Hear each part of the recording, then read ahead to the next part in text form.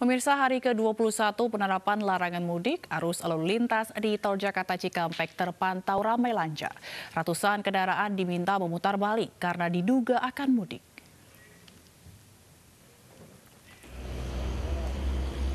Berdasarkan data di Telantas Polda Metro Jaya dari Rabu pagi hingga siang tadi, tercatat 114 kendaraan diminta memutar balik ke arah Jakarta.